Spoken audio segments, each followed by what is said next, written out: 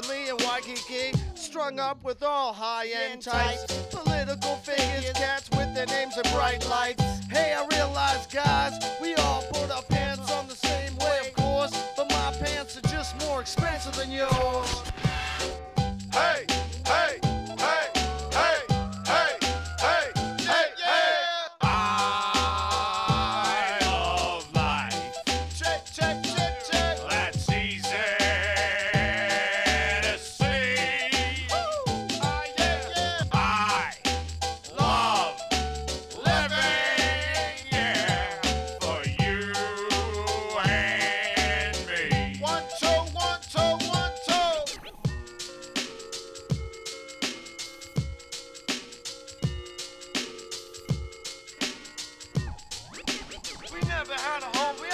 Floating crab game. Little Vinny, you shouldn't be mixing dirty martinis so eight. For Christ's sake, I ain't laughing. He's better than those Italian dish rags down at Croce's Tavern, like Frank Machine. He said he was a contractor. Well, I'd say he was a pretty good actor, made a pile of agree on the money laundering scheme.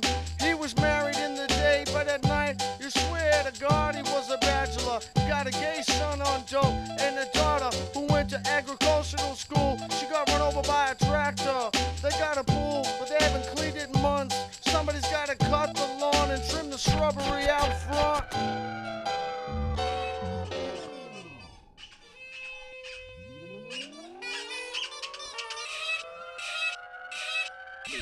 Bye.